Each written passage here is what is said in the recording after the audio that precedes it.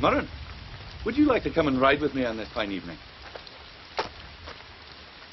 And that?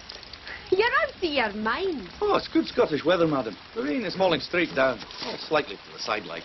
She can't go with you. No. Oh, no the now, anyway. No, the now. No, the now. We'll see you later. Oh, the weather's just fine. It's hardly raining. Did you not hear what I said? Yeah. Murron! Maren, you... We... Oh. It's you she takes after.